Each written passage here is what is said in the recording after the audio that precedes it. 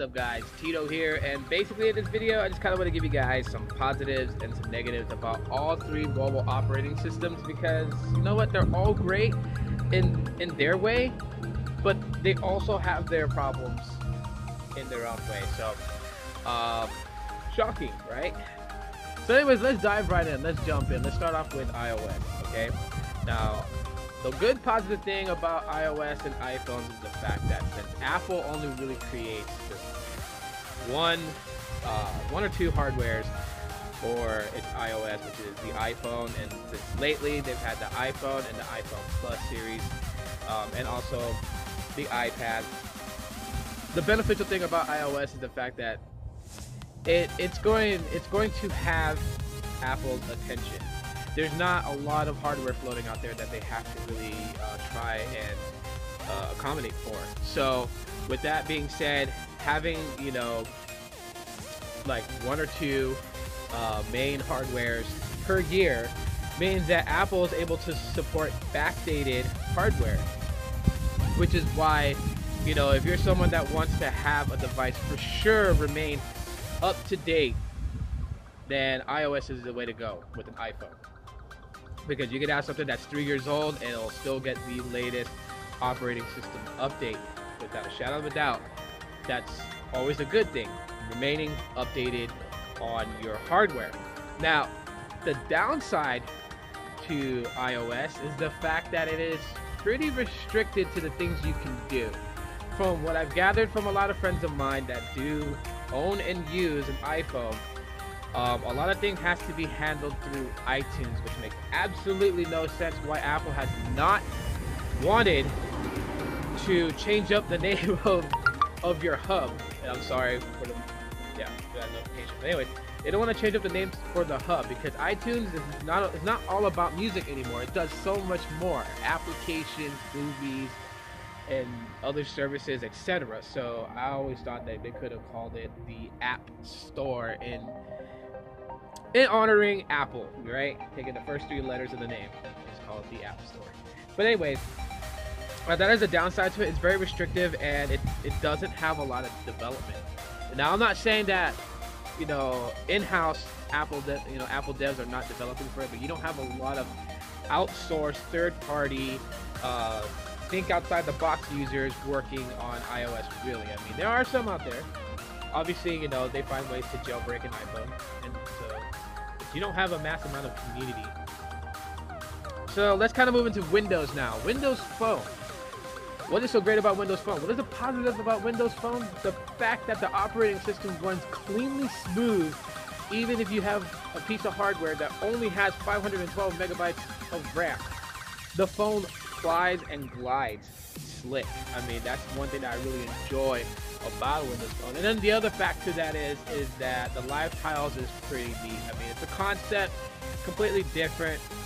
Live tiles, get information in the tile on your home screen, and while some may dislike the home screen of a Windows Phone because it's all tiled up in like rectangles and, and squares, and it looks like you know a kindergartner is trying to stack a Tower of Babylon.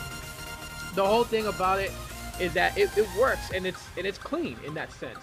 Uh, there's not a lot of cluster and clutter. You know what's on your on your homepage, your live tiles. You get info right from it. You want to get to your app drawer, swipe to the right. List of applications you have downloaded.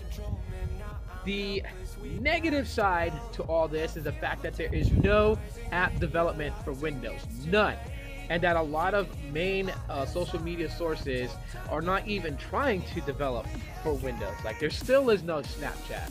There is no official YouTube for Windows phones.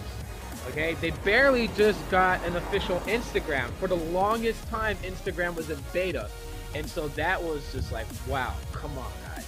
The only way you would get access to these things is through third party developers. Actually, I call them fourth party developers because they're not trustworthy. You don't know that if you sign into your social media service, if that app is actually grabbing your login info so that they may obtain access to your social media. So untrustworthy fourth party developers really killing it for Windows. So let's go with Android now. Android. What are the positives of Android? Well, it's a very powerful operating system. Not to say that it, that it's taking away from iOS, but it is very powerful in what you can do with it, and it's very open you know what you can do with it. You can customize it as long as you build hardware. You can customize it and build it out to your liking. Um, that is always something great because there are people out there that just don't want to all have the same thing. They kind of want to stand different. And with Android, you can do that. Uh, besides the fact that you can stand different, the the operating system has come a long way from being this very laggy, very unorthodox, very misguided direction operating system to now having a clear vision of what it needs to be and has caught up in many ways to iOS and even has surpassed iOS in many ways because let's not BS anybody, but Apple has adopted a few things that Android had implemented in its system.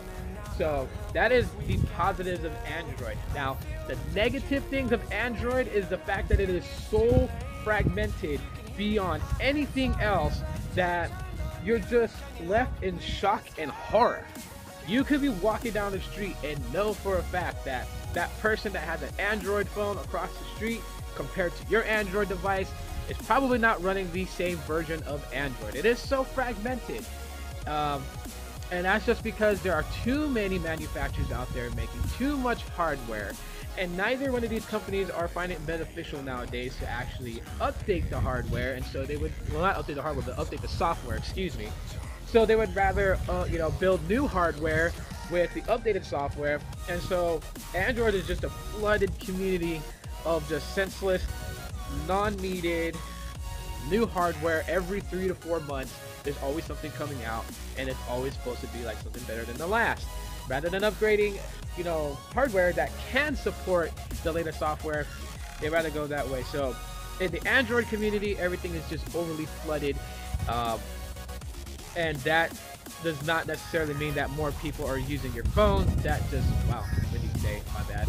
That just necessarily means that yeah, we have say like a little pool that is no longer filled with water and wind blowing. You guys, you guys can see it right on the camera. You guys can see it. but yeah, it just means that the pool is completely flooded with Android devices. So I just wanted to kind of put that out there. You know, one positive, one negative thing about each operating system. And I would love to know your guys' thoughts and opinions of one positive and one negative thing about each of the operating systems. And if you guys would love to share your thoughts and opinions, the comment section below is where you can do so. Um, links up on the display. Click them, subscribe, click that bell option to know when I'm uploading a video. My name is Tito. This is Aloha Android. And as always, mahalo for checking me out. Aloha till the next time. Love you guys.